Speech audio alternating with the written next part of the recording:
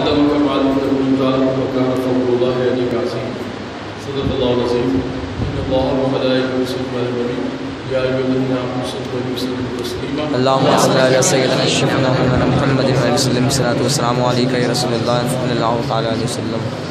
آج میں نے اوپر کی طرف پڑھنے کی کوشش کی تھی آدھے اس سے اوپر کی طرف۔ اور آج وہ بھی آدھے ہیں معاملہ رہا ہے۔ کی چھٹی ہے شاید ایک اشرا گزر چکا اشرہ رحمت جا چکا۔ اب یہ اشرہ مغفرت ہے۔ اللہ تبارک تعالیٰ اس مغفرت کے اشرے میں کل کائنات کی وہ مومنی جن کو اللہ تبارک تعالیٰ روزے کی، تراویح کی شہر کی، افطار کی، ذکر کی اسکار کی توفیق عطا کرتا انہیں مغفرت والا اشرا بھی عطا فرما سبحان اللہ۔ اور اس کے بارے میں قرآن کریم کو خود ارشاد فرمایا رب کے محبوب کائنات صلی اللہ علیہ وسلم ارشاد فرماتے ہیں کہ میں خود جس کو مالک و مختار رب نے بنایا ہے میں خود بھی ایک سو ایک مرتبہ استغفر اللہ ربی بالکل ضبی و بات کو کا تصویر کرتا ہوں۔ جبکہ انبیاء معصوم الخطا اور ہم محفوظ الخطا ہم سے خطا ہو سکتی ہے لیکن اللہ تعالیٰ ہمیں محفوظ کر دیتا ہے لیکن بلا انبیاء سے خطا ہو ہی نہیں سکتی۔ نبی ہوتا ہی وہ ہے جو خطاؤں سے پاک ہوتا ہے۔ سبحان اس اللہ۔ کسی طرح بھی اس کے نام اعمال میں کوئی گناہ نہیں۔ لیکن اللہ کے محبوب صلی اللہ علیہ وسلم فرماتے ہیں پھر بھی میں سو مرتبہ استغفار پڑھتا ہوں۔ اس لیے کہ میری امت کی یہ عادت بن جائے۔ اور گناہ ہر انسان سے کبھی نہ کبھی، کہیں نہ کہیں، کسی نہ کسی طرح سے ہو ہی جاتا ہے۔ اور آج ہم سراپا گناہوں میں ملوث ہیں۔ تو لہٰذا اپنی عادتوں کے مطابق الفاظ کی، گفتار کی، چلنے کی، پھرنے کی، بولنے کی، دیکھنے کی جو جانی انجانی خطائیں ہیں، ہم ان کو بھی مد نظر رکھتے ہوئے ہماری شہری بھی غلطی ہو دو چار منٹ آگے پیچھے کیونکہ اب وہ وقت نہیں رہا کہ شہری کا وقت ختم ہونے میں ابھی پانچ منٹ باقی ہے تو ہم دس منٹ پہلے نیت باندھیں ہم گلاس ہاتھ میں رکھ کر کے مسجد کا آواز سنتے ہیں کہ شہری کا وقت ختم ہوا، اب نیت کر لیجیے بسم اللہ الرحمن الرحیم۔ وہ افطار کی طرح شہری ہو رہی ہے کہ اب شہری میں بھی کچھ پی کر نیت کر رہے یا کچھ کھا کر نیت کر کہ اب بالکل عین وقت پر اب شہری اور بالکل کنارے سے کنارہ افطار ہے۔ یعنی یہ ختم، یہ بسم اللہ اللہ اور یہ شہری ختم، یہ کچھ نہ کچھ کھا کر شہری ختم۔ پہلے سے پانچ منٹ پہلے سے ہم تیار نہیں ہو رہے۔ ایسا ہونا چاہیے۔ اکثر کچھ لوگ ہوں گے ایسے الحمد للہ جو پانچ منٹ پہلے یہ وقت ختم کر دیں۔ اب کچھ ایسے ہیں جو پانچ منٹ پہلے آپ کا افطار کرانے میں تلے ہوئے۔ اور وہ آسانیں ہو رہی ہیں۔ اور یہ اس ہمارے شہر میں نہیں، پورے ملک میں یہ ایک فضا بنا دی گئی۔ غروب آفتاب ہو، سورج نظر نہ آئے تو افطار کر دو تو ہم نے کہا کہ برسات کے روزے اچھے رہیں گے۔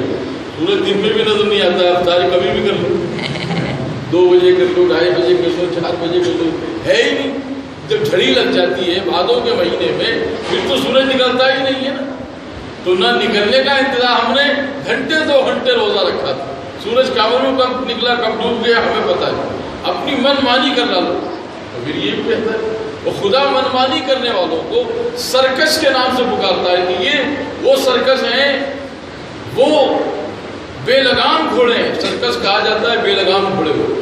کہ وہ اپنی مرضی سے جہاں چاہے گھس جائے جدھر چاہے، چلا جائے، وہ لگام میں نہیں ہے۔ اور بے لگام انسان ضلالت میں نقصائی رسوائی میں نقصان ہوتا ہے۔ اور استغفار کی عادت بندے کو مقام منزلت تک پہنچاتی ہے۔ جیسا کہ اور دل سے توبہ کرنے والے بندے کے لیے موسیٰ علیہ السلام بارش نہیں ہو رہی۔ اپنی امت کو لے کر کے جنگل میں گئے، میدان میں گئے۔ یہ اللہ کے نبی صلی اللہ علیہ وسلم نے بھی فرمایا کہ جب کوئی قحط پڑ جائے، کوئی آفت آ جائے، کوئی بارش نہ ہو تو آپ جنگل میں یا کسی میدان میں جا کر چند لوگ جمع ہوں، یہ دو رکعت نماز کی ایک امام بن جائے، وہ نماز ادا کرائے اور اس کے بعد پھر دعا کریں۔ اور دعا اجتماعی دعا وہ تو اللہ جمیعہ لوگوں اجتماعی دعا کی عادت بناؤ۔ یعنی سب مل کر اکٹھا ہو، پھر دعا مانگو، استغفار کرو اور اجتماعی توبہ کرو، اجتماعی دعا کرو۔ موسا علیہ السلام دعا کے لیے کھڑے ہیں۔ رب نے فرمایا کہ موسا تیری امت میں ایک آدمی ایسا ہے جس کی وجہ سے بارش نہیں ہو۔ وہ بس بہت گناہ گار ہے۔ لہٰذا آپ اعلان کرو کہ جو سراپا گناہ گار ہے، وہ اس مجلس سے نکل جائے تاکہ بارش ہو جائے۔ ہم اس کی وجہ سے پانی نہیں برسائیں اب حضرت موسیٰ علیہ السلام، وہ گناہ گار شخص بھی اس مجلس میں تھا۔ کچھ دیر گزر جانے کے بعد بارش شروع ہو گئی۔ موسیٰ علیہ السلام اعلان کر کے ٹھہر گئے کہ وہ نکل جائے گا، پھر ہم دعا کریں گے برسات ہو۔ تھوڑی دیر کے بعد بارش شروع ہو گئی۔ حدیث پاک میں آتا ہے، امام غزالی نے اس کو نقل فرمایا ہے۔ تھوڑی دیر کے بعد بارش شروع ہو گئی۔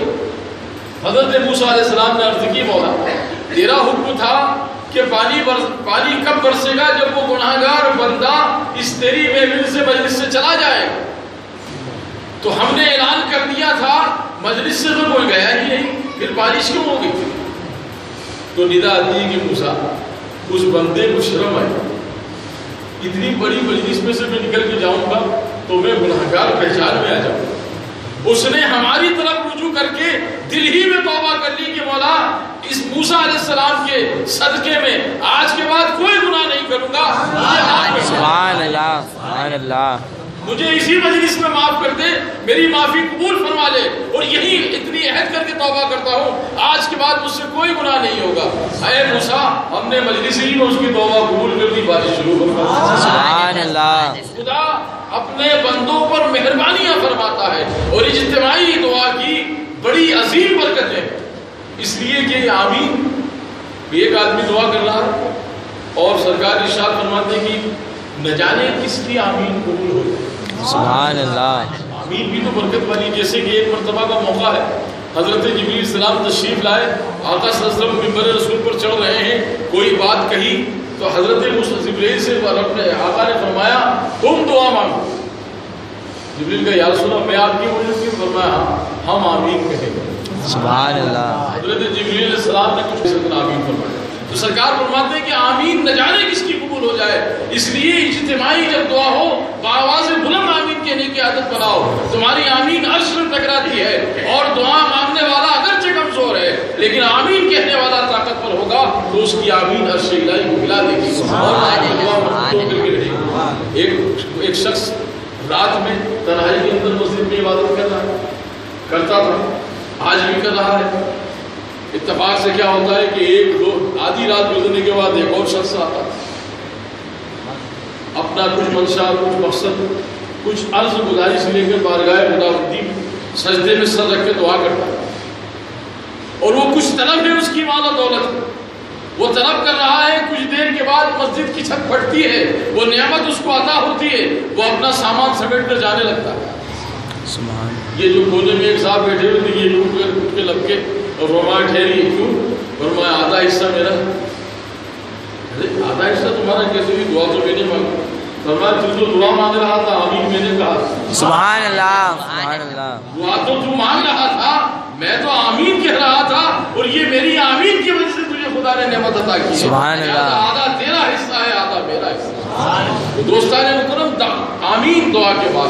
اگر ہم کثرت کے ساتھ اسی لیے خود قرآن میں رب فرما رہا ہے وہ تو اللہ جميعا واجتنبوا علی الانسان آپ اگر مل کر دعا مانگ رہے ہو تو باواز بلند اس لیے آمین کہو کہ ہماری آمین بھی اس مقدس زبان کی آمین کے ساتھ مل جائے۔ اور ایک دعا مانگے دوسرا آمین کہہ کر اس دعا کو اللہ۔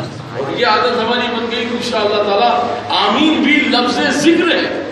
خدا کے مقدس ناموں کے بعد کچھ نام خدا کے گیارہ سو اور ہیں جس میں لفظ آمین بھی۔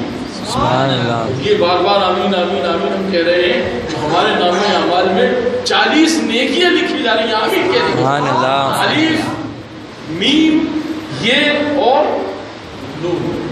ایک لفظ کی دس نیکی رمضان میں ستر تر سات چوک دو سو اٹھائیس نیکی ایک بار آمین کہتے ہیں۔ اور دو سو اٹھائیس گناہ کم دو سو اٹھائیس درجے بلند۔ سبحان اللہ۔ ایک آمین کی برکت یہ ہے جیسے سبحان اللہ اس کا رمضان میں رب کے محبوب نے ارشاد فرمایا ہے ایک مرتبہ تم نے سبحان اللہ کہا کسی موقع پر۔ رمضان میں کسی نے بھئی ہمارے بچے نے روزہ سبحان اللہ. آپ نے ایک بار سبحان اللہ کہا آپ کو سات ہزار مرتبہ سبحان اللہ کہنے کا سبحان اللہ۔ یہ سات ہزار گناہ کم کر دی رمضان کا ہر لمحے فیضان ہے آپ نے نعمت افطاری دیکھی؟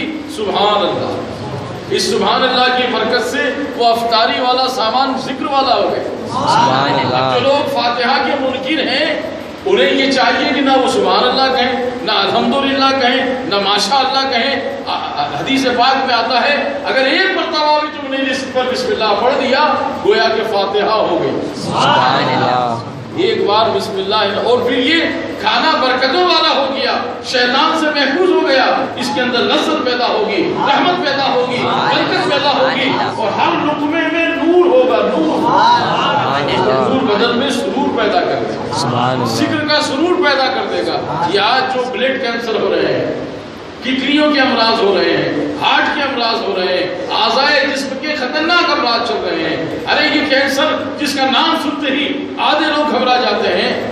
رب کے محبوب صلی اللہ علیہ وسلم فرماتے ہیں۔